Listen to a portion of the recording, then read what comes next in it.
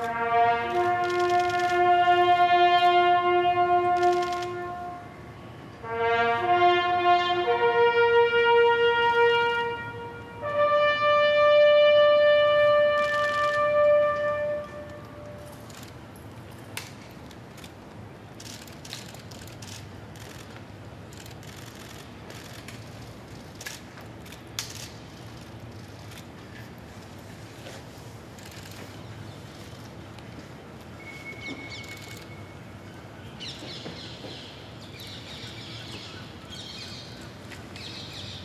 And on behalf of Her Majesty the Queen, His Royal Highness the Prince of Wales will lay the Sovereign's wreath.